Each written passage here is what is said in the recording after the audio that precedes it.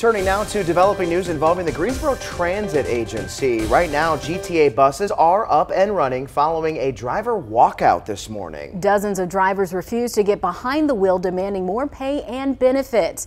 WFMY News 2's Ariel Cadet is live at the bus depot with what happens next. What's the latest?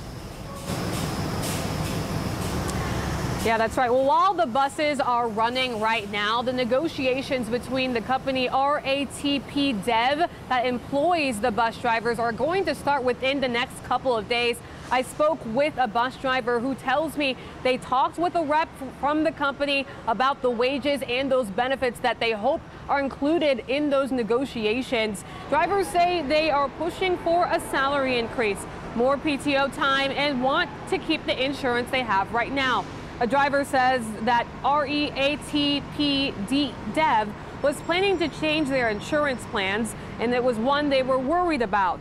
An employment lawyer I spoke with says employees have the right to walk out when it comes to economic concerns. She says it can vary for how long negotiations can take. I don't want to say they try to band aid the situation, but they try to get it resolved quickly so that they can move forward if there are protracted negotiations which are needed at a later time um, to try to keep everything moving. I spoke with a passenger today who waited a couple hours at his usual stop before he found out the buses weren't running this morning. He says he had an appointment he missed and was waiting with an A&T student who missed class. He says he's glad the drivers are back working, but understands why they had to walk out. I think they deserve everything, everything they need and should get as far as through their job. So my word to the city people and people, give them what they need, give them their benefits and their raises and this and that. Treat them like human beings and treat them like employees instead of treating them like something else.